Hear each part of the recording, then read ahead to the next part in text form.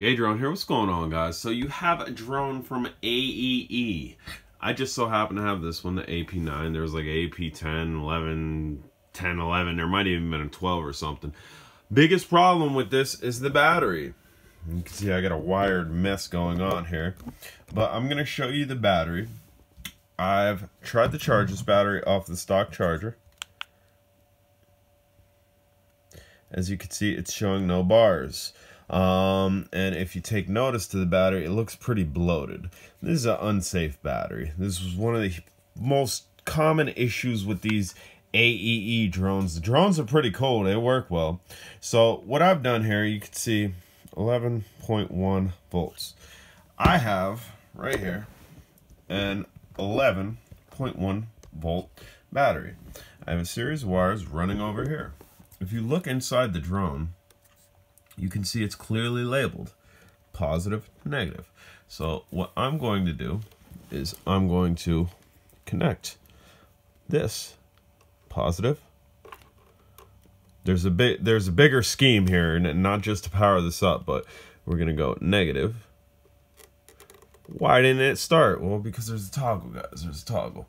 So we're going to bam turn the toggle on. I'm gonna come over here.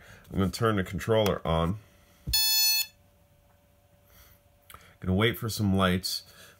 It's on GPS. We're in house. It's not gonna get GPS, so we're just going to flick that down. We'll see if I can fire motors. I can fire motors. I can shut them down. In the bigger scheme of things, we don't need this trashy battery. This again is, a, well, it's actually a lot larger capacity than what I have here. I think this is a, let's see, 4,000 milliamp an hour. So we're going to have to get a bigger battery or we could have run short flight times on this. Yeah, I didn't realize how big this battery was. We're going to have to get like a 7,000 milliamp an hour battery if we want to do the exact flight times. Otherwise, we can just get batteries like this and be able to run the drone as opposed to not being able to run the drone at all because it has no battery. Uh, so what I'm going to do, I'm going to pull this apart and see if there's any way that I can make this um, compatible with the teeth on there. That way I don't gotta mod that. But if I did have to mod that, it would be simple.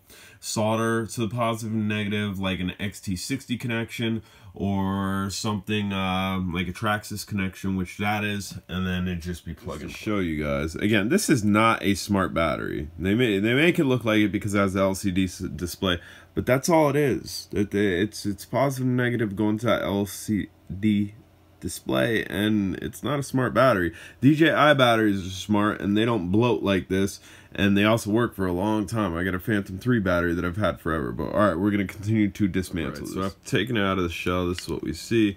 We see a AEE board up top here. Um, we see a mess of wires going down to there. I, I guess this isn't too bloated. I thought it was a lot more bloated than what it was. But I think... Uh, think I'm still going to get rid of this. I don't think this is a safe battery to have in the house. Uh, I think the easiest thing that's going to be to do is... Where's the terminal? There. That terminal. Right there.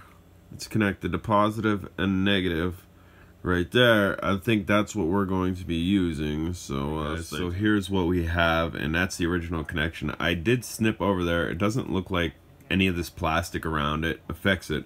It would just be the little spotted area that you can see there, which on the back you can see is there. So I think if we clean this up to where we just have that connection, um, we can then either just directly solder our wires from that battery to here, or we might be able to do something along the lines by adding wires and a common connection to that. That way we can just use a bunch of different just batteries. to show you what I've done here guys I'm using that same connection.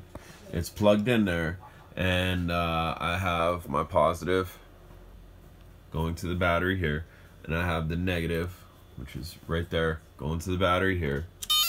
We have connection you don't need this battery setup that they gave you that made you think was a smart battery and again that's the sides are pretty bloated the the bottom's not though but I'm still gonna get rid of this battery uh, so we're gonna try to figure out a way a simple way to uh, get this setup to uh, work for me Uh, that way I don't have to be using gator clips, but the gator clips were just test. Alright guys, so this is what I got. I got an XT60 female, and we're going to be using this battery, which has an XT60 male.